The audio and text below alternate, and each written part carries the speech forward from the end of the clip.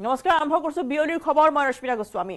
আৰম্ভণিত এক breaking news Kamrup মহানগৰ চি জি এম আদালতৰ অঘটন খহি পৰিল আদালতৰ চিলিঙৰ এটা বৃহৎ অংশ। আদালতত চিলিং খহি আহত হৈছে এগৰাকী বৃদ্ধা আহত বৃদ্ধাগৰাকীক ভৰ্তি কৰোৱা হৈছে হস্পিটেলত চি জি এম আদালতৰ দ্বিতীয় মহলাত এই অঘটন সংঘটিত হৈছে। সৌভাগ্যক্ৰমে প্ৰাণ ৰক্ষা পৰিছে উপস্থিত বহু লোকৰ। পুনৰ জনাইছো কামৰূপ মহানগৰ চি জি এম আদালতৰ অঘটন খহি পৰিল আদালতৰ চিলিঙৰ এটা অংশ। বৃহৎ অংশ এটা খহি পৰিছে। আদালতত চিলিং খহি আহত হল এগৰাকী বৃদ্ধাও। আহত বৃদ্ধাগৰাকীক ইতিমধ্যে হস্পিটেলত ভৰ্তি কৰোৱা হৈছে। চি জি এম আদালতৰ দ্বিতীয় মহলাত এই অঘটন সৌভাগ্যক্ৰমে প্ৰাণ ৰক্ষা পৰিছে। উপস্থিত বহু লোকৰ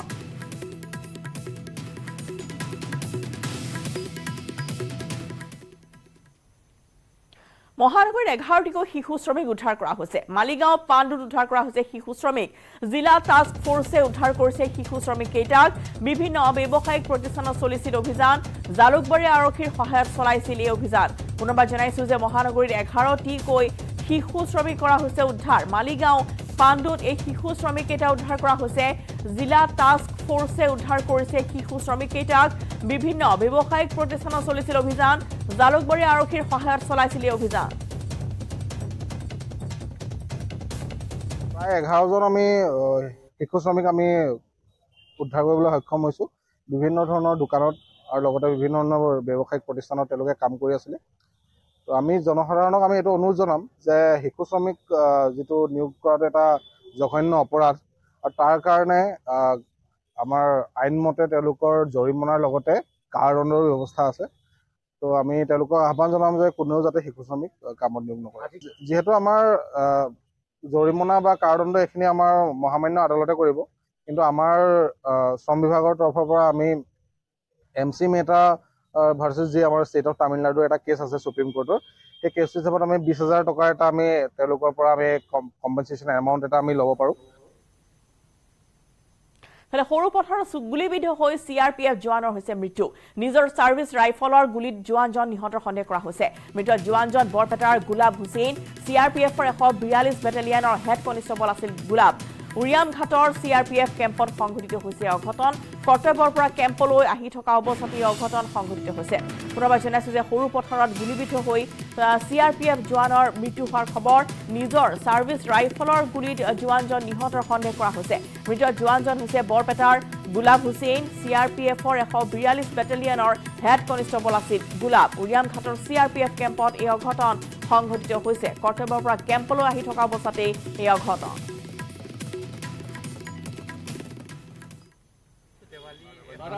পূজা সমাগত কোনোবাই ফটকা ফুটাইছে নি এনেকৈ ভাবিলোঁ। এতিয়া আহি কি দেখিলে? এতিয়া দেখিছোঁ এজন মৃত অৱস্থাত পৰি আছে। একো গম পোৱা নাই আমি খালি আহি চাইছোঁ মৰি আছে। এ, ক- ক'ৰ আছে চি আৰ পি এফ বাহিনীয়ে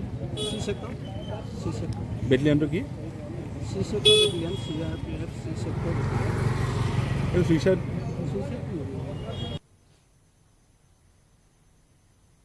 সমষ্টি পুনৰ নিৰ্ধাৰণক লৈ কমিটি গঠনৰ সিদ্ধান্ত অগপৰ লোকসভা নিৰ্বাচনতো বিজেপিৰে থাকিব অগপৰ মিত্ৰতা। অৱশ্যে কেইবাটাও লোকসভা সমষ্টি থাকিব অগপৰ প্ৰাৰ্থী। অগপৰ কাৰ্যনিৰ্বাহকৰ সভাত লোৱা হৈছে সিদ্ধান্ত। আগন্তুক লোকসভা নিৰ্বাচনৰ ৰণকৌশল তথা দলীয় অন্তঃকণ্ডল সন্দৰ্ভত আলোচনা কৰা হয় কাৰ্যনিৰ্বাহকত। ইফালে কংগ্ৰেছত যোগদানৰ বাতৰি ওলোৱা অগপৰ নেতাসকলো উপস্থিত আছিল এই দলীয় সভাত।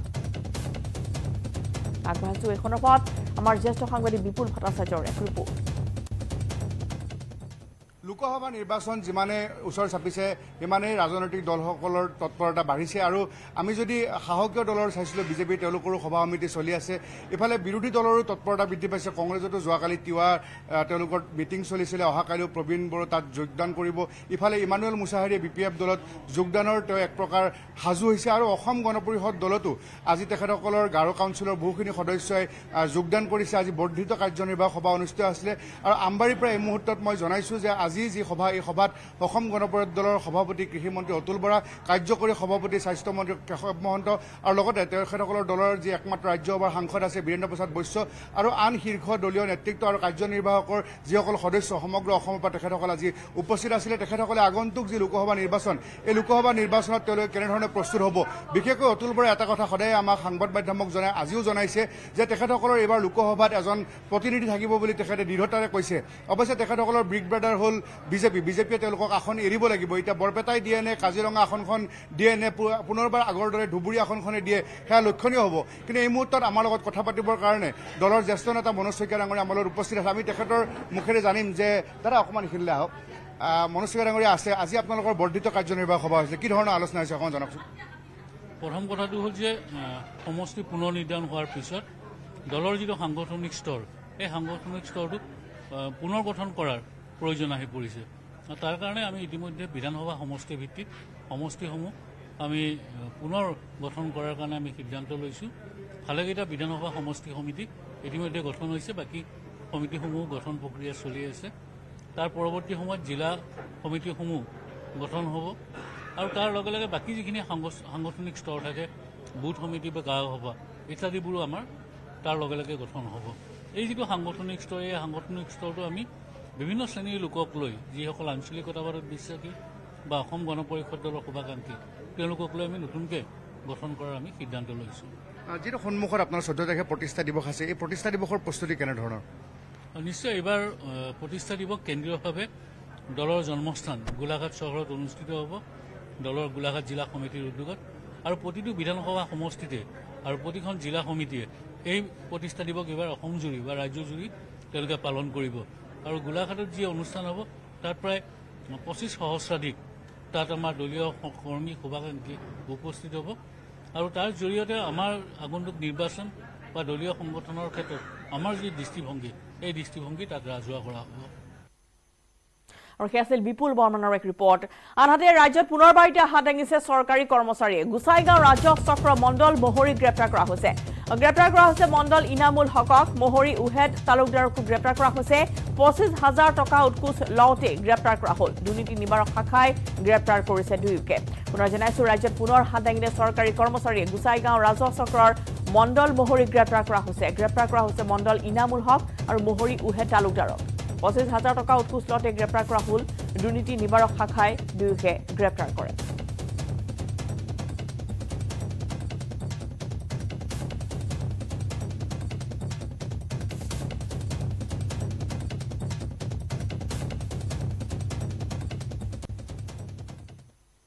বিশ্বনাথ চাৰিআলিত এক ভয়ংকৰ অগ্নিকাণ্ড বাম গাঁৱত এই ভয়ংকৰ অগ্নিকাণ্ডৰ ঘটনা য'ত তিনিটাকৈ বাসগৃহ সম্পূৰ্ণৰূপে ভস্মীভূত হৈছে। কুশেন বাছফৰ শাৰদা বাল্মীকি পপ্পু বাল্মীকিৰ ঘৰত অগ্নিকাণ্ডৰ ঘটনা সংঘটিত হৈছে আৰু দুটাকৈ চিলিণ্ডাৰ এটা নহয় দুটাকৈ চিলিণ্ডাৰ বিস্ফোৰণৰ ফলত এই বিধ্বংসী অগ্নিকাণ্ডৰ ঘটনা য'ত তিনিটাকৈ বাসগৃহ এনেদৰে সম্পূৰ্ণৰূপে জ্বলি ছাৰখাৰ হৈ গৈছে। বহু মূল্যৱান সা সম্পত্তি ইতিমধ্যে বিনষ্ট হৈছে এই ভয়ংকৰ অগ্নিকাণ্ডৰ ফলত আৰু বিশ্বনাথৰ বামগাঁৱৰ এই ভূমিকম্প ক্ষমা কৰিব এয়া যি অগ্নিকাণ্ডৰ ঘটনা সেই অগ্নিকাণ্ডৰ ঘটনাই দিয়া আতংকৰ সৃষ্টি কৰে সেই সময়ছোৱাত স্থানীয় লোকসকলৰ মাজত এক আতংক বিৰাজ কৰিছে। আৰু ইতিমধ্যে আমি জনাইছোঁ যে দুটাকৈ চিলিণ্ডাৰ এটা নহয় দুটাকৈ চিলিণ্ডাৰ বিস্ফোৰণৰ ফলত এই জুয়ে এক ভয়ংকৰ ৰূপ ধাৰণ কৰিছে। চুইপাৰ কলনীত সংঘটিত হৈছে। এই বিধ্বংসী অগ্নিকাণ্ড দুটাকৈ চিলিণ্ডাৰ বিস্ফোৰণৰ ফলত জুয়ে অধিক ভয়ংকৰ ৰূপ লয়। আৰু সেয়া দেখুৱাইছোঁ চিলিণ্ডাৰ বিস্ফোৰণৰ সেই ভয়ংকৰ দৃশ্য কেমেৰাত আবদ্ধ হৈছে। কেনেদৰে চিলিণ্ডাৰ বিস্ফোৰণ হৈ গৈছে যাৰ ফলত এই সকলো লোকৰ মাজত আতংক বিৰাজ কৰিছে।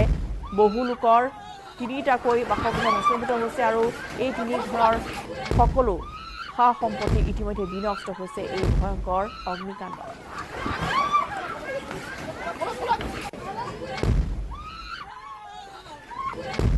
মই বাহিৰত কথা পাতি আছিলো ফোনত। সেইটো মতে মোৰ হাজবেণ্ডক ফোন আহিলে মই ফোনটো ৰখি পেলাই বহিছোঁ চোতালত তেনেকুৱাতে ল'ৰাটো পলাই আহিছে। পিছত মই কৈছোঁ তই নিশ্চয় কিবা কৰি আহিছ? কৈ নাই মই একো কৰা নাই। তেতিয়া মোৰ মনটো নামানে মই ঘৰৰ ওচৰত দুটা বাইদেউজনীক মাতি লৈ গ'লোঁ। যোৱাচোন চাবা দাদা তুমি কিবা হৈছে নেকি? সিহঁতি আহি চাইছে তেতিয়ালৈকে জুই লাগিয়ে গ'ল। পিছত তাৰ মাকক ফোন কৰিব কৈছোঁ কোনো কৰা নাই। পিছত ল'ৰাটো আকৌ পলাই কৈছে কি মই একো কৰা নাই। তই নিশ্চয় কিবা কৰিছ তেতিয়াহ'লে ইমান নুগুন্ধাই। তেতিয়ালৈকে চাইছোঁ এই ভাইটি ভণ্টিজনী ল'ৰাটো গৈ চাইছে তেতিয়ালৈকে জুই লাগিয়ে গ'ল। ল'ৰাটো মানে গেছ জ্বলাইছিলে? ল'ৰাটো গেছ জ্বলোৱা নাছিলে কাৰেণ্টটো গেছৰ পৰা লগা নাই কিবা বৰ্ডৰ পৰা লাগিছিলে। ল'ৰাটো লগোৱা নাই লাইনত লাগি ম্যানমাৰ শৰণাৰ্থী শিবিৰত জুণ্টাৰ গুলীবৰ্ষণ। শিশু মহিলাসহ থিতাতে নিহত হ'ল ত্ৰিশজনকৈ লোক কাছিনৰ লাইজাৰ শৰণাৰ্থী শিবিৰত জুণ্টাৰ ভয়ংকৰ আক্ৰমণ। সামৰিক চৰকাৰৰ পুনৰ আগমনৰ পিছতে এয়া ম্যানমাৰত সবাতোকৈ ডাঙৰ আক্ৰমণৰ ঘটনা। সোমবাৰে মাজনিশা সংঘটিত হৈছিল এই আক্ৰমণ। সামৰিক চৰকাৰৰ পুনৰ আগমনৰ পিছতেই এই আক্ৰমণৰ ঘটনা। ম্যানমাৰৰ শৰণাৰ্থী শিবিৰত এই জুণ্টাৰ গুলীবৰ্ষণ য'ত শিশু মহিলাসহ ত্ৰিশজনকৈ লোকে প্ৰাণ হেৰুৱাইছে কাছিনৰ লাইজাৰ শৰণাৰ্থী শিবিৰত জুণ্টাৰ এই ভয়ংকৰ আক্ৰমণৰ।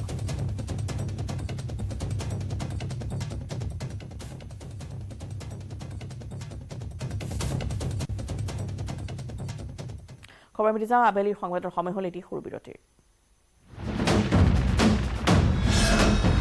ভাৰতৰ গৌৰৱ গোটেই বিশ্বতেই ইয়াৰ সন্মান ষ্ট্ৰং মানে মাইথান ষ্টীল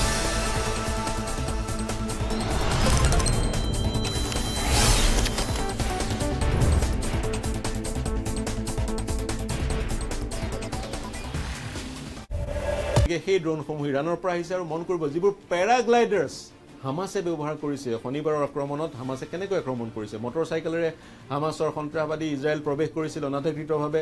পেৰাগ্লাইডাৰ্ছেৰে প্ৰৱেশ কৰিছিল ট্ৰাকেৰে প্ৰৱেশ কৰিছিল আৰু এছ ইউ ভিৰে প্ৰৱেশ কৰিছিল। এই পেৰাগ্লাইডাৰ্ছসমূহ ইৰাণে প্ৰভাইড কৰিছিলে। আৰু প্ৰৱেশ কেতিয়া কৰিছিলে? অতি পদ্ধতিগতভাৱে সুপৰিকল্পিতভাৱে তেওঁলোকে আক্ৰমণ কৰিছিলে। মোছাদ বিচোৰাংচোৱা বাহিনী ইজৰাইলৰ। তেওঁলোকে ভোকে নাপালে গমকে নাপালে এয়া বিফলতা। মোছাদৰ সেয়া অন্য বিষয় কেতিয়াবা বিশ্লেষণ কৰিম। কিন্তু তেওঁলোকে আক্ৰমণটো কৰিছিলে। প্ৰথমতে তেওঁলোকে উপৰ্যুপৰি হামাছে উপৰ্যুপৰি আক্ৰমণ কৰিছিল আকাশমাৰ্গেৰে বিছ মিনিটত পাঁচ হাজাৰ মিছাইল নিক্ষেপ কৰিছিলে। সেই মিছাইলসমূহৰ নাইণ্টি পাৰ্চেণ্ট মিছাইলহে আইৰণ ডমে ডেষ্ট্ৰয় কৰিব পাৰিলে। টেন পাৰ্চেণ্ট মিছাইল দহ শতাংশ মিছাইল ইজৰাইলৰ ভূ ভূ- ভূ- ভূভাগত পৰিলে আৰু যথেষ্ট ধ্বংসলীলা আহ, ধ্বংসলীলা এই মিছাইল এই মিছাইলসমূহে কৰিবলৈ সক্ষম হ'ল। যেতিয়া মিছাইল প্ৰক্ষেপ কৰা হৈছিল সেই সময়ছোৱাতে বিভিন্ন পথেদি মটৰ চাইকেল পেৰাগ্লাইডাৰ্ছ ইত্যাদি ইত্যাদিৰে প্ৰৱেশ অনাধিকৃতভাৱে সন্ত্ৰাসবাদীসমূহ প্ৰৱেশ কৰিলে।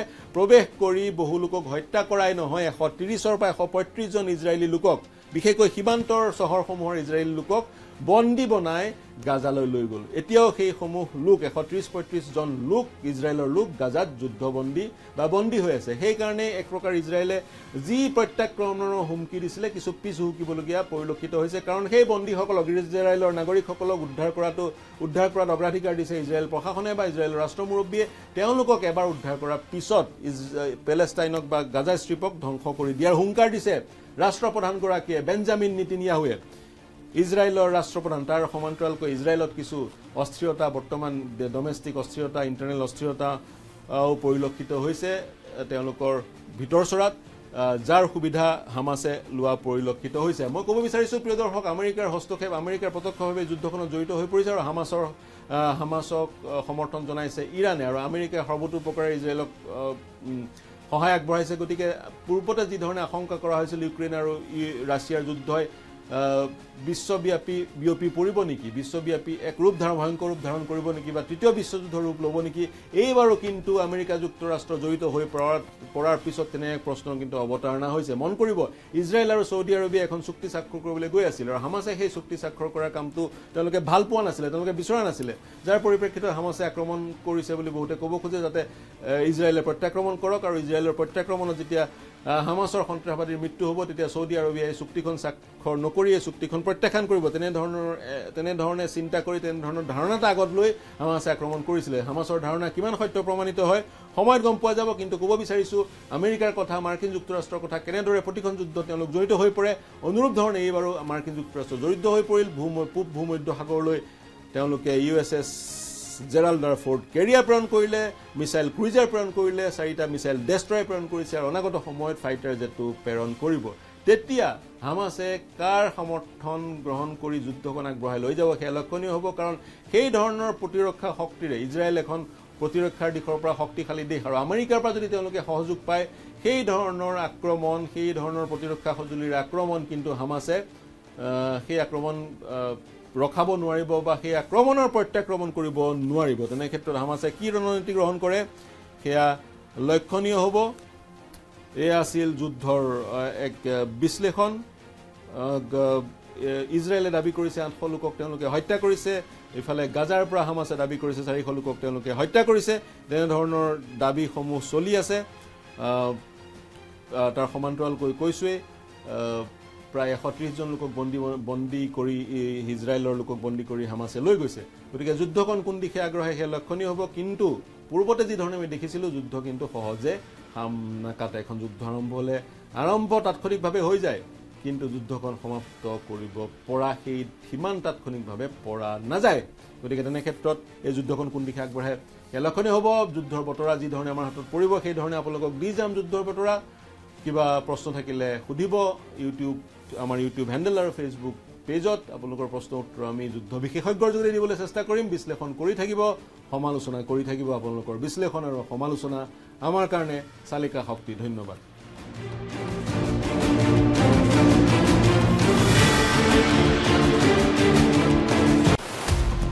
ভূপেন বৰাই পলিটিক্সত জিৰ' নাজানে সেইটোৰ কাৰণে এইবাৰ কংগ্ৰেছ ভূপেন বৰাই জিৰ' কৰি বিদায় কৰি। একদম জিৰ' যোনে যি কয় কৈ থাকক। আমি আমাৰ দলৰ কাৰ্যসূচী আমাৰ দলৰ নেতাই যুগুত কৰে আমাৰ দলৰ কাৰ্যসূচী আমি চলাই গৈ থাকিম। লোকসভা নিৰ্বাচনৰ পূৰ্বে জমি উঠিছে ৰাজনীতি। ৰাজনীতিৰ পথাৰত ওলাইছে এজন টিউচন মাষ্টৰ। এই স্বয়ম্ভূ টিউচন মাষ্টৰে এতিয়া নিজৰ দল নহয় আনৰ দলক দিছে ৰাজনীতিৰ নীতি শিক্ষা। পিছে কোন এই ৰাজনীতিৰ নীতি শিক্ষা দিয়া নতুনকৈ ওলোৱা টিউচন মাষ্টৰ?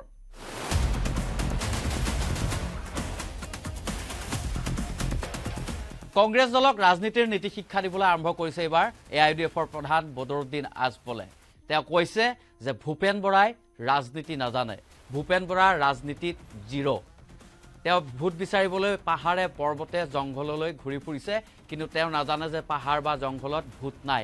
এনেধৰণে এতিয়া বদৰুদ্দিন আজমলে ভূপেন বৰাক সমালোচনা কৰিবলৈ আৰম্ভ কৰিছে।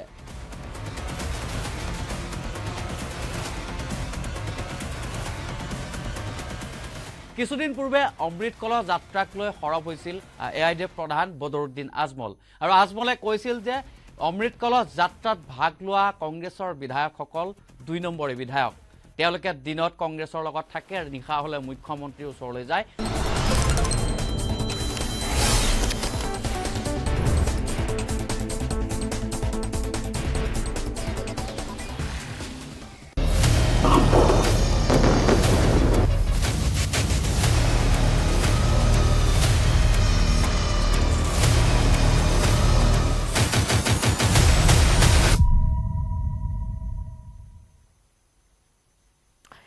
ইজৰাইল হামাছৰ ভয়ংকৰ যুদ্ধ।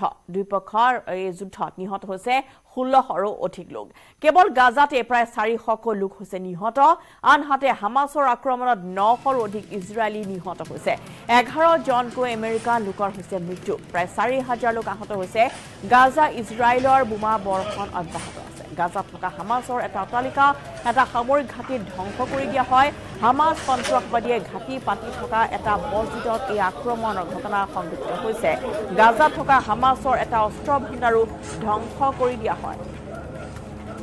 এনেদৰে দেখুৱাইছোঁ আক্ৰমণৰ দৃশ্য সমান্তৰালভাৱে আমি জনাইছোঁ যে ইজৰাইল হামাছৰ এই যি সংঘৰ্ষ বা যি যুদ্ধ তাত ইতিমধ্যে দুই পক্ষৰে ষোল্লশৰো অধিক লোক নিহত হৈছে গাজাতে প্ৰায় সাতশকৈ লোক হৈছে নিহত হামাছৰ আক্ৰমণত নশৰো অধিক ইজৰাইলী নিহত হৈছে এঘাৰজনকৈ আমেৰিকা লোকৰ মৃত্যু হৈছে চাৰি হাজাৰ লোক আহত হৈছে গাজা ইজৰাইলৰ বোমা বৰ্ষণ এতিয়াও অব্যাহত আছে গাজাত থকা হামাছৰ এটা অট্টালিকা এটা সামৰিক ঘাটি ইতিমধ্যে ধ্বংস কৰি দিয়া হৈছে হামাছ সন্ত্ৰাসবাদীয়ে ঘাটি পাতি থকা এটা মছজিদতো আক্ৰমণ চলোৱা হয়। গাজাত থকা হামাছৰ এটা অস্ত্ৰ ভাণ্ডাৰো ধ্বংস কৰিছে ইজৰাইল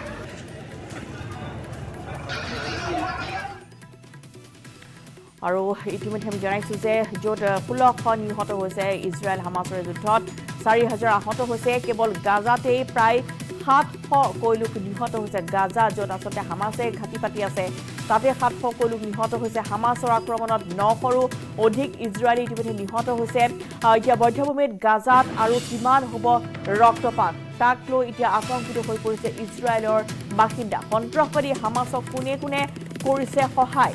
তাক লৈ এতিয়া প্ৰশ্ন উত্থাপন হৈছে গাজাত ইজৰাইলৰ বোমা বৰ্ষণ এতিয়া অব্যাহত আছে। গাজাৰ মছজিদত আক্ৰমণ কৰা হৈছে। গাজাত থকা হামাছৰ অট্টালিকা সামৰিক ঘাটি ধ্বংস কৰি দিয়া হৈছে যাতে আৰু বিভীষিকাময় পৰিস্থিতিৰ উদ্ভৱ হ'ব নোৱাৰে। গাজাত থকা হামাছৰ অস্ত্ৰ ভাণ্ডাৰো ধ্বংস কৰি দিছে ইজৰাইলী সেনাই। মছজিদত ঘাটি পাতি আক্ৰমণ হামাছ সন্ত্ৰাসবাদী।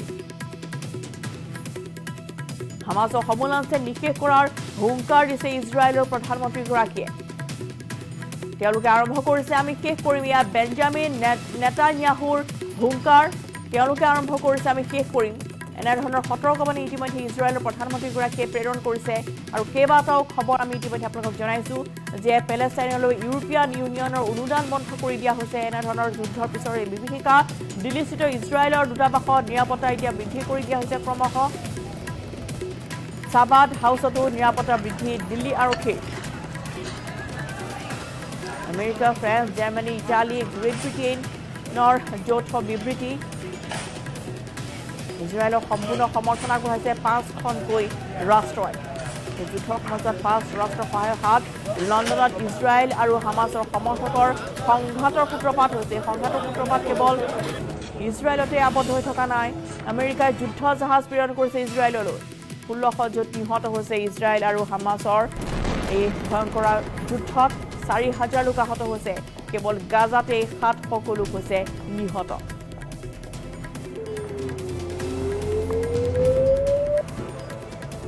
কেইবাটাও দৃশ্য আমি দেখাইছোঁ যে গাজা বৰ্তমান এনেদৰে ধ্বংসস্তূপলৈ পৰিণত হৈছে য'ত ইটো সিটো গৈ বোমা বৰ্ষণ ৰকেটেৰে তেওঁলোকক এনেদৰে গাজাত আক্ৰমণ চলোৱা হৈছে। কণ কণ শিশুৰ পৰা বৃদ্ধলৈ ইতিমধ্যে আবাল বনিতা সকলো প্ৰায় চাৰি হাজাৰৰ অধিক লোক আঘাতপ্ৰাপ্ত হৈছে।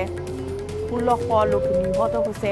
গাজাত থকা হামাছৰ অট্টালিকা সামৰিক ঘাটি ইতিমধ্যে ধ্বংস কৰি দিছে ইজৰাইলী সেনাই। বেঞ্জামিন নেতানিয়াহুৰ যে তেওঁলোকে আৰম্ভ কৰিছে আমি শেষ কৰিম এই যুদ্ধ। হামাছলৈ এই সতৰ্কবাণী জাৰি কৰিছে ইজৰাইলৰ প্ৰধানমন্ত্ৰীয়ে। ইজৰাইলত কেৱল এতিয়া মৃত্যুৰ কুৰিলি আৰু চাৰিওদিশে কেৱল ধোঁৱা আৰু গুলী বাৰুদৰ এয়া শব্দ ইতিমধ্যেই অট্টালিকাসমূহ ধ্বংসস্তূপলৈ পিছত সিটোকৈ আহ, যি গোলাবৰ্ষণ বা বোমা বাৰুদৰ যি ঘটনা যি আক্ৰমণ কেতবোৰ দৃশ্য আমি দেখুৱাইছোঁ য'ত ছেটেলাইটেৰে গ্ৰহণ কৰা হৈছে। কেতবোৰ দৃশ্য আৰু সমান্তৰালভাৱে এয়া এতিয়া ইজৰাইলৰ এই স্থানে স্থানে কেৱল অট্টালিকা মৰাশৰ দুৰ্গন্ধ এনেদৰে এইসমূহ অট্টালিকা ৰকেটেৰে উৰুৱাই দিয়া হৈছে।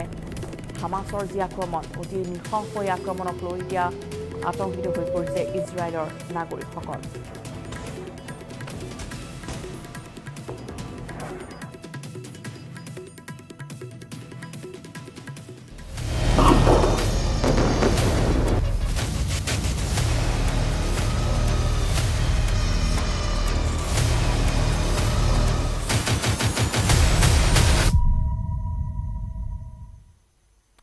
প্ৰশ্ন উঠিছে যে ইজৰাইলত হত্যালীলা চলোৱা হামাছ প্ৰকৃততে কি?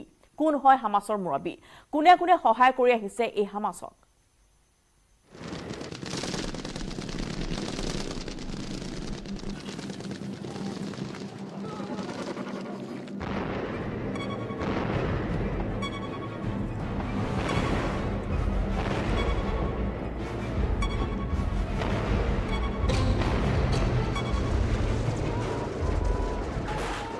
ইজৰাইলত বৰ্বৰ আক্ৰমণ চলোৱা হামাছ আচলতে হয় কি? ইয়াৰ নেতা কোন?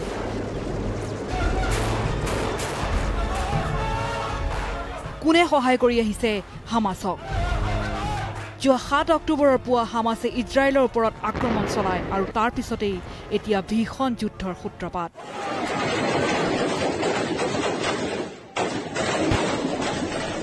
দুয়োফালৰ পৰা তীব্ৰ আক্ৰমণ প্ৰত্যাক্ৰমণত বহু নিৰীহ নাগৰিকৰ ইতিমধ্যে মৃত্যু হৈছে।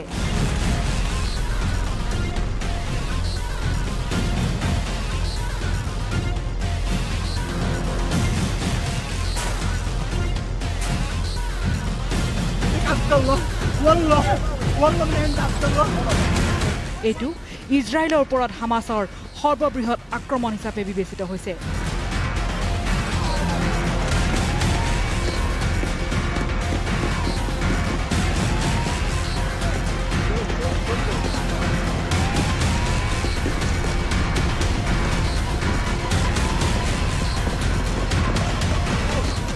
হামাছৰ লক্ষ্য উদ্দেশ্য এটাই ইজৰাইলে পূৰ্বে যুঁজি যিসমূহ অঞ্চল নিজৰ অধীনলৈ আনিছিল সেইবোৰ নিজৰ কব্জালৈ নিয়া।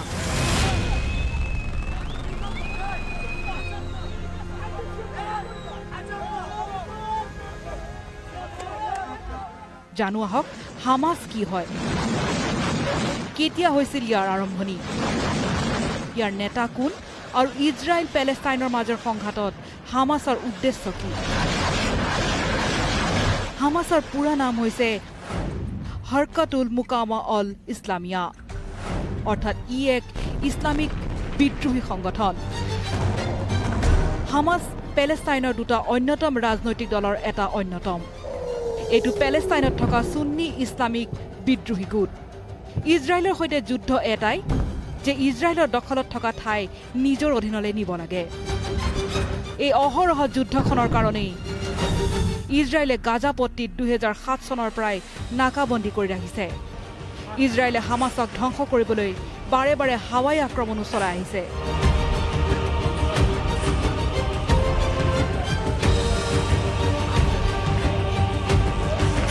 হামাছে গাজাপট্টিত থকা দুই মিলিয়নৰো অধিক পেলেষ্টাইনী লোকৰ ওপৰত শাসন কৰে।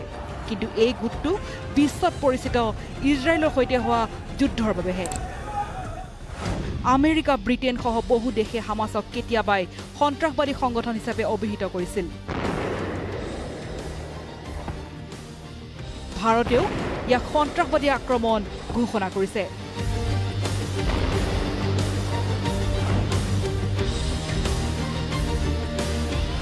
হামাছৰ প্ৰতিষ্ঠা হৈছিল পেলেষ্টাইনৰ মৌলবী শ্বেখ আহমেদ আছিনৰ নেতৃত্বত। এই ব্যক্তিজনে জীৱনৰ আৰম্ভণিতে কাইৰত ইছলামিক ছাত্ৰবৃত্তিৰ সৈতে জড়িত আছিল। আৰু পিছলৈ মুছলিম ব্ৰাদাৰহুডৰ এক স্থানীয় শাখাত কাম কৰিবলৈ লয়। ঊনৈছশ ষাঠিৰ দশকত মৌলবী শ্বেখ আহমেদ আছিনে ৱেষ্ট বেংক আৰু গাজাত ইছলামিক ধৰ্মীয় কাম কাজত জড়িত হৈ পৰে। ঊনৈছশ সাতষষ্ঠি চনত ছদিনৰ যুদ্ধৰ পিছত ইজৰাইলে ৱেষ্ট বেংক আৰু গাজা কব্জা কৰিছিল। ৱেষ্ট বেংক গাজা আৰু পূব জাৰুজেলেমত ইজৰাইলৰ কব্জাৰ বিৰোধিতা কৰি মৌলবী শ্বেখ আহমেদ আছিনে ঊনৈছশ সাতাশী চনৰ ডিচেম্বৰত গাজাত ব্ৰাদাৰহুডৰ ৰাজনৈতিক শাখা হিচাপে হামাছৰ প্ৰতিষ্ঠা কৰে। সেই সময়ত হামাছৰ উদ্দেশ্য আছিল পেলেষ্টাইন ইছলামিক জিহাদৰ সৈতে মোকাবিলা কৰা। কিন্তু পৰৱৰ্তী সময়ত ইজৰাইলৰ বিনাশ আৰু পেলেষ্টাইনত সংযুক্ত ইছলামিক সমাজ গঠনৰ লক্ষ্যক সন্মুখত বান্ধি আগুৱাই যাবলৈ ধৰে হামাছে।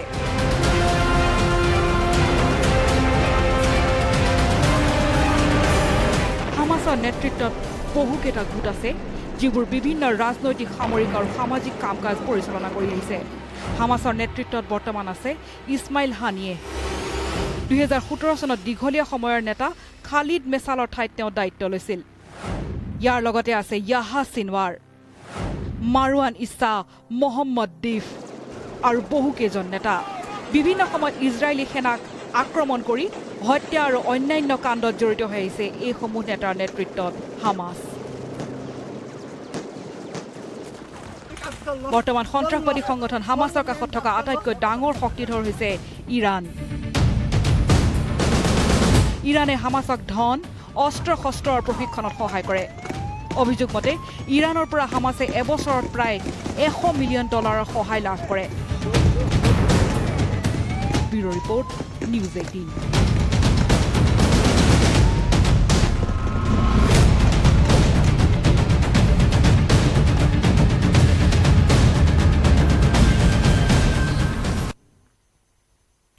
আৰু ইফালে গাজা ষ্ট্ৰীপত উদ্ধাৰ কৰা হৈছে পোন্ধৰশৰো অধিক হামাজ সন্ত্ৰাসবাদীৰ মৃতদেহ এই দাবী ইজৰাইলী সেনাৰ। এ এফ পিৰ বাতৰিত এই তথ্য প্ৰকাশ পাইছে।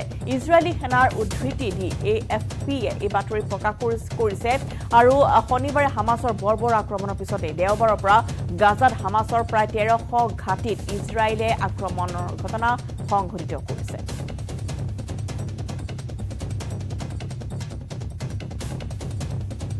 ইজৰাইলত হামাছৰ আক্ৰমণৰ পিছতে এতিয়া ইজৰাইলত হেজবুল্লাৰ আক্ৰমণ। সোমবাৰে ইজৰাইলৰ কেইবা ঠাইতো ৰকেটেৰে আক্ৰমণ কৰিছে হেজবুল্লাই। হেজবুল্লা হৈছে লেবানস্থিত এটা সন্ত্ৰাসবাদী সংগঠন। হেজবুল্লাই হামাছক সম্পূৰ্ণ সমৰ্থন আগবঢ়াই আহিছে। দক্ষিণ লেবাননত ইজৰাইলৰ আক্ৰমণত তিনি হেজবুল্লা সদস্য নিহত হোৱাৰ খবৰ লাভ কৰাৰ পিছতে ইজৰাইলৰ উত্তৰ সীমান্তত সন্ত্ৰাসবাদী সংগঠনটোৱে আক্ৰমণ চলায়। হেজবুল্লাৰ এই আক্ৰমণ ইজৰাইলৰ বাবে এক নতুন সমস্যাৰ সৃষ্টি কৰিব পাৰে। ইৰাণৰ সম্পূৰ্ণ পৃষ্ঠপোষকতা লাভ কৰা সন্ত্ৰাসবাদী সংগঠন হেজবুল্লাই দুহেজাৰ ছয় চনতো ইজৰাইলৰ সৈতে যুদ্ধত লিপ্ত হৈছিল। হেজবুল্লাই দাবী কৰা মতে সোমবাৰে ইজৰাইলৰ দুটাকৈ সামৰিক ঘাটিত এই আক্ৰমণৰ ঘটনা সংঘটিত হৈছে।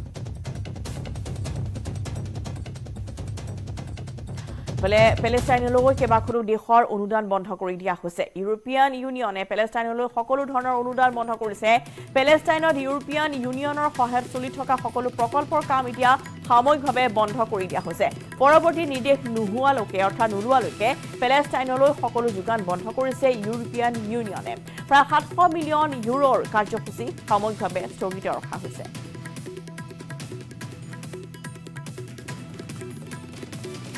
ইজৰাইল হামাছৰ যুদ্ধৰ পিছতে সষ্টম হৈ পৰিছে ভাৰত। দিল্লীস্থিত ইজৰাইলৰ দূতাবাসত নিৰাপত্তা বৃদ্ধি কৰি দিয়া হৈছে। চাবাদ হাউচতো নিৰাপত্তা বৃদ্ধি কৰিছে দিল্লী আৰক্ষীয়ে। ইজৰাইল হামাছৰ যুদ্ধক লৈ বৃদ্ধি কৰা হৈছে নিৰাপত্তা। দিল্লী আৰক্ষীয়ে নিৰাপত্তা বৃদ্ধি কৰিছে চাবাদ হাউচত দিল্লীৰ চান্দনী চকত থকা দূতাবাসত মোতায়েন কৰা হৈছে দিল্লী আৰক্ষী। ইজৰাইল হামাছৰে যুদ্ধক লৈ পশ্চিমীয়া ৰাষ্ট্ৰৰ বিবৃতি যৌথ বিবৃতিত ইজৰাইলক সম্পূৰ্ণ সমৰ্থন আগবঢ়োৱা হৈছে। আমেৰিকা ফ্ৰান্স জাৰ্মানী ইটালী আৰু গ্ৰেট ব্ৰিটেইনে যৌথ বিবৃতি জাৰি কৰিছে।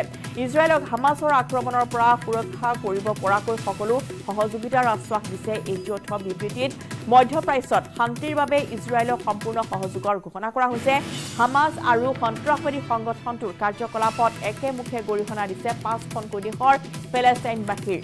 আশা আকাংক্ষা সমৰ্থন যৌথ বিবৃতিত। কিন্তু হামাছে পেলেষ্টাইনবাসীৰ আশা আকাংক্ষা সমৰ্থন নকৰে। হামাছে পেলেষ্টাইনবাসীক সন্ত্ৰাস আৰু নিৰাপত্তাৰ বাহিৰে একো দিব নোৱাৰে বা নিদিয়ে। লণ্ডনত ইজৰাইল আৰু হামাছৰ সমৰ্থকৰ সংঘাত। লণ্ডনৰ ৰাজপথত দুই পক্ষৰ সমৰ্থকৰ সমদল সমদলৰ সময়তে দুয়ো পক্ষৰ সংঘাতৰ হৈছে সূত্ৰপাত। দুই পক্ষৰ সমৰ্থনেৰে হাজাৰ হাজাৰ লোকে কৰিছে সমদল।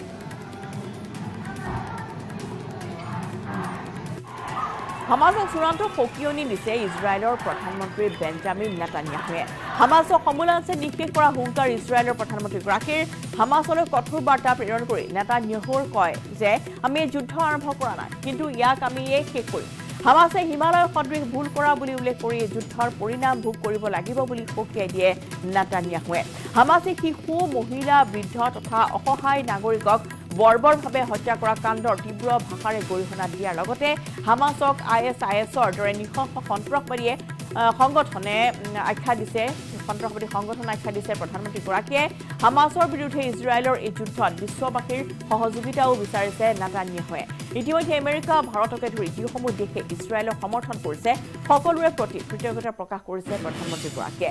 নেতানিয়াহুৱে কয় যে ইজৰাইলে কেৱল নিজৰ দেশৰ বাবে এই যুদ্ধ কৰা নাই যুদ্ধ সকলো ধৰণৰ সন্ত্ৰাসবাদ বৰ্বৰতা নৃশংসতাৰ বিৰুদ্ধে যুদ্ধ।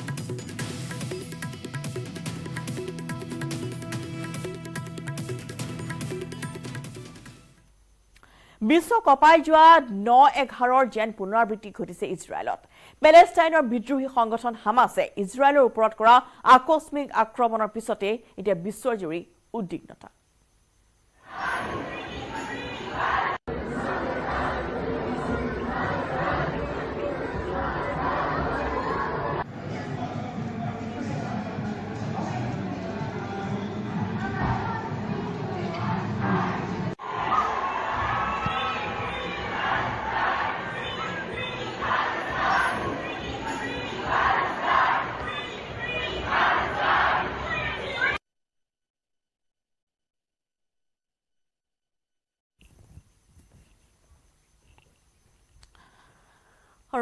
ইতিমধ্যে আমি জনাইছোঁ যে ইজৰাইল বিশ্বকাপত যোৱা ন এঘাৰৰ যেন পুনৰাবৃত্তি ঘটিছে।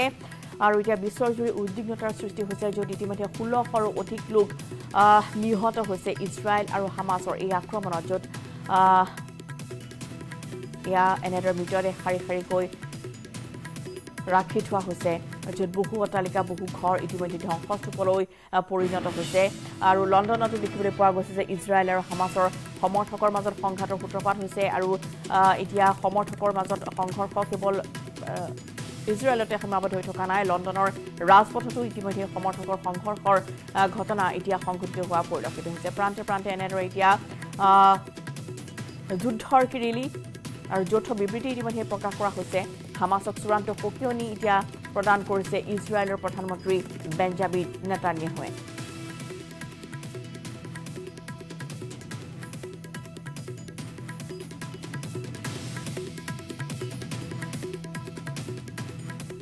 Israel is at war. We didn't want this war. It was forced upon us in the most brutal and savage way. But though Israel didn't start this war, Israel will finish it. Once the Jewish people were stateless, once the Jewish people were defenseless, no longer. Hamas will understand that by attacking us, they've made a mistake of historic proportions. We will exact a price that will be remembered by them and Israel's other enemies for decades to come. The savage attacks that Hamas perpetrated against innocent Israelis are mind boggling, slaughtering families in their homes, massacring hundreds of young people at an outdoor festival, kidnapping scores of women, children, and elderly, even Holocaust survivors. Hamas terrorists bound, burned, and executed children. They are savages. আৰু Israel হামাছৰ যুদ্ধত ইজৰাইলৰ সম্পূৰ্ণ সহযোগিতা ঘোষণা কৰিছে আমেৰিকাই আমেৰিকাই ইতিমধ্যে ভূমধ্য সাগৰৰ পূব প্ৰান্তলৈ যুদ্ধ জাহাজ প্ৰেৰণ কৰিছে ৰাষ্ট্ৰপতি জ' বাইডেনৰ নিৰ্দেশত এখন যুদ্ধ জাহাজ ইউ এছ এছ জেৰাল্ড আৰু ফৰ্ড ভূমধ্য সাগৰলৈ প্ৰেৰণ কৰা হৈছে। এই জাহাজখনত কেইবাটাও যুদ্ধ বিমানৰ ফিল্ড আছে। এই জাহাজখনত এফ ফিফটিন আৰু এফ থাৰ্টি ফাইভ যুদ্ধ বিমান আছে। ইয়াৰ উপৰিও আমেৰিকাই এখন গাইডেড মিছাইল ক্ৰুজাৰ আৰু চাৰিখনকৈ গাইডেড মিছাইল ডেষ্ট্ৰয়াৰ ইজৰাইলৰ উপকূলীয় সীমান্তলৈ প্ৰেৰণ কৰিছে। প্ৰধানমন্ত্ৰী বেঞ্জামিন নেতানিয়াহুক ফোন কৰি সকলো ধৰণৰ সামৰিক সহায়ৰ আশ্বাস প্ৰদান কৰিছে ৰাষ্ট্ৰপতি জ' বাইডেনে। উল্লেখযোগ্য যে হামাছৰ আক্ৰমণত ইজৰাইলত এই পৰ্যন্ত এঘাৰগৰাকী মাৰ্কিন নাগৰিক নিহত হোৱা বুলি জ' বাইডেনে নিশ্চিত কৰিছে।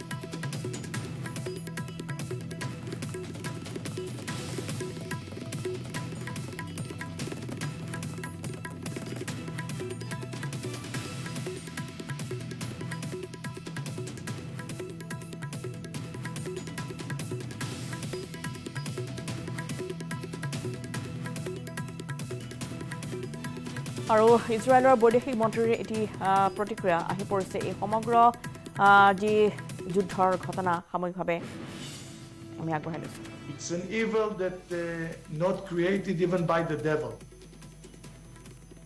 I think that uh, in the last uh, decades, I don't think that we saw such sins. The United States stands with Israel. We will not ever fail to have their back. We'll make sure that they have the help their citizens need and they can continue to defend themselves. You know, the world's seen appalling images.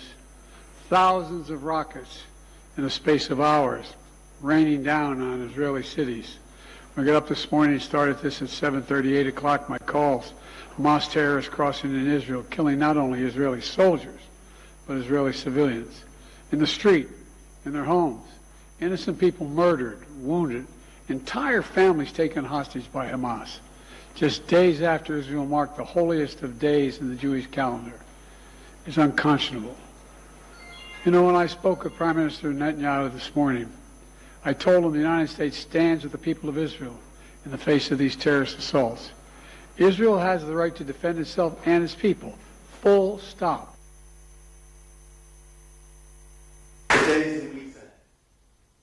আৰু আমেৰিকাৰ ৰাষ্ট্ৰপতি জো বাইডেনৰ সেয়া ভাষ্য তেওঁ ইতিমধ্যে উল্লেখ কৰিছে যে সকলো প্ৰকাৰ সহায় সহযোগিতা আগবঢ়াব আৰু ব্ৰিটেইনৰ প্ৰধানমন্ত্ৰীৰ ভাষ্য Not just today, not just tomorrow, but always. And I will stand with you, the British Jewish community. Not just today, not just tomorrow, but always. Am Yisrael Chai. We also now want to bring in our guest. We সহায় সহযোগিতাৰ কথা ঘোষণা কৰিছে ইজৰাইলৰ আহ, ইজৰাইলৰ হামাছৰ এই আহ, যি আহ, যুদ্ধ বা যি সংঘৰ্ষ বৰ্তমান অব্যাহত আছে। য'ত ইতিমধ্যে এই দুই পক্ষৰ ষোল্লশকৈ লোক নিহত হৈছে চাৰি হাজাৰৰ অধিক আহত হৈছে আৰু নিহত আহত এই সকলো আহ, বোৰ যি ঘটনা য'ত ইতিমধ্যে বৰ্তমান সাময়িকভাৱে যি যুদ্ধ অব্যাহত আছে তালৈ পাঁচখনকৈ ৰাষ্ট্ৰৰ সহায়ৰ কথা ঘোষণা কৰা হৈছে। আমেৰিকাই সহায় আগবঢ়াব ব্ৰিটেইনৰ প্ৰধানমন্ত্ৰীগৰাকীয়ে উল্লেখ কৰিছে যে তেওঁলোকেও যিমান পাৰে সিমান সহায় সহযোগিতা আগবঢ়াই গৈ থাকিব।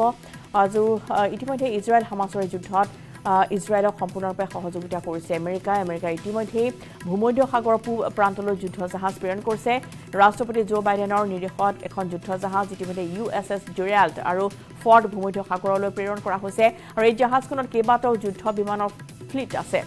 য'ত এফ ফিফটিন আৰু এফ থাৰ্টি ফাইভ যুদ্ধ বিমান আছে। ইয়াৰ উপৰিও আমেৰিকাই এখন গাইডেড মিছাইল ক্ৰুজাৰ আৰু চাৰিখনকৈ গাইডেড মিছাইল ডেষ্ট্ৰয়াৰ ইজৰাইলৰ উপকূলীয় সীমান্তলৈ প্ৰেৰণ কৰিছে। প্ৰধানমন্ত্ৰী বেঞ্জামিন নেতানিয়াহুক ফোন কৰি সকলো ধৰণৰ সামৰিক যি সহায় আছে সেই সহায়ৰ আশ্বাস প্ৰদান কৰিছে জো বাইডেনে। ইতিমধ্যে তেওঁৰ ভাষণ প্ৰসংগত সেই কথা তেওঁ উল্লেখ কৰিছে। আৰু হামাছৰ আক্ৰমণত ইজৰাইলত এই পৰ্যন্ত এঘাৰগৰাকীকৈ মাৰ্কিন নাগৰিক নিহত হোৱা বুলি জো বাইডেনে নিশ্চিত কৰিছে। ইজৰাইল হামাছৰ এই যি ভয়ংকৰ যুদ্ধ তাত ইতিমধ্যেই বহু সংখ্যক লোকে প্ৰাণ হেৰুৱাইছে বহু সংখ্যক পৰ্যটকে প্ৰাণ হেৰুৱাইছে। মাৰ্কিন নাগৰিক ইতিমধ্যে এঘাৰগৰাকীকৈ নিহত হৈছে। ইয়াৰ পাৰ্শ্বক্ৰিয়া লণ্ডনৰ ৰাজপথতো দেখিবলৈ পোৱা গৈছে। লণ্ডনতো ইয়াৰ আহ, যি যুদ্ধৰ পাৰ্শ্বক্ৰিয়া পৰিলক্ষিত হৈছে য'ত সমৰ্থকৰ ইজৰাইলৰ সমৰ্থক হামাছৰ সমৰ্থকৰ মাজত সংঘৰ্ষৰ সূত্ৰপাত হৈছে আৰু ইজৰাইলৰ শেহতীয়া দৃশ্য আমি দেখুৱাইছোঁ য'ত ইহঁত এই আহতসকলক ততাতৈয়াকৈ হস্পিটেললৈ প্ৰেৰণ কৰা হৈছে। কেওফালে কেৱল আহ, গোলা বাৰুদ বা আহ, যুদ্ধৰ এক বিভীষিকাময় পৰিৱেশ। এনেদৰে ডাঙৰ ডাঙৰ অট্টালিকাসমূহ ধ্বংসস্তূপলৈ পৰিণত হৈছে। চাৰিওফালে কেৱল যেন মৃত্যুৰ কিৰিলি গাজা ষ্ট্ৰীপত ইতিমধ্যে নিহতৰ সংখ্যা বৃদ্ধি পাইছে আৰু গাজাত ইতিমধ্যে জনাইছোঁ যে সাতশৰ অধিক লোক নিহত হৈছে।